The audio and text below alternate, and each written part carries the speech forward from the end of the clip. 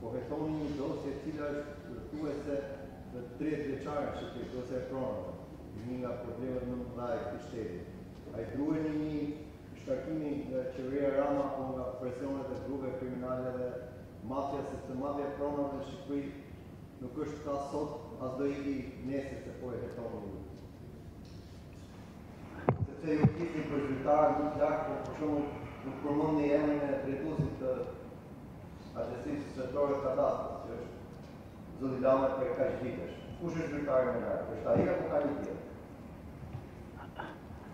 Të falenderoj për pyetjen Arsen.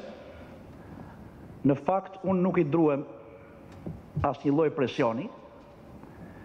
sepse krijimi i kësaj strukture në tetor të vitit dy mijë e njëzet e një ishte tërësisht vullnet i qeverisë shqiptare. Pra, qeveria shqiptare, kryeministri Rama është i qartë në këtë në këtë betejë me korrupsionin në administratën publike.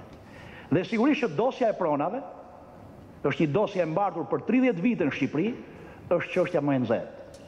Por mos harroni, ne presim në qershor çeljen e negociatave me Bashkimin Evropian dhe kapitulli njëzet e tre, gjyqësori dhe të drejtat themelore të njeriut, janë kapitulli i parë që do të hapen në tryezën e negociatave dhe këtu përfshihet dhe antikorrupsioni dhe çështja e pronave dhe që Qeveria shqiptare dhe ne si Ministri e Drejtësisë, përgjegjëse për kapitullin njëzet e tre, do të duhet të kemi përgjigje të qarta, të sakta dhe shteruese lidhur me trajtimin e çështjes pronave në Shqipëri.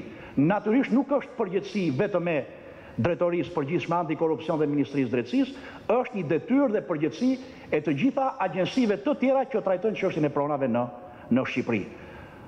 Është bërë goxha në drejtim të çështjes pronave në Shqipëri dhe ju e dini tashmë që ne kemi një ligj të ri, ligji njëzet njëzet, për përfundimin e proceseve kalimtare të pronësisë në Republikën e Shqipërisë dhe që është përgjegjësi e jona zbatimi me korrektësi i atij ligji.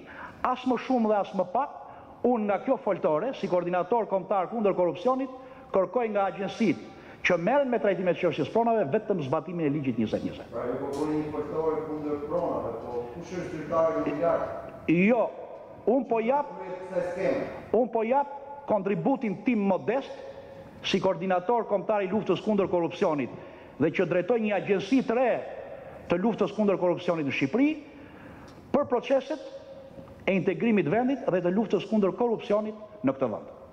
Tani, kush është zyrtari a kush është zyrtari më i lartë? Unë më duket se sot denoncova zyrtarë të lartë të Agjencisë Trajtimit Pronave, siç edhe fola për një skemë të kompensimit financiar mes ASHK-së dhe Agjencisë Trajtimit Pronave në raport me ish-pronarët pronat e të cilëve janë zënë me ndërtime informale. por është çështje e hetimit penal tashmë të hetojë se si X-i mbaron punën në ASHK dhe mbrenda ditës sjell vlerësimin e kompensimit financiar ka Agjencia e Trajtimit Pronave, ndërkohë që një ish-pronar tjetër nga një deri në pesë vjet pret jo vetëm radhën e kompensimit financiar, por muaj e muaj pafund ka ndejtur në dyert e ASHK-së për të arritur të marrë të drejtën që i takon. Lufta është lufta kundër korrupsionit, sigurisht është një luftë që do ta zhvillojmë dhe po e zhvillojmë ditë për ditë, secili tek pjesa e vet.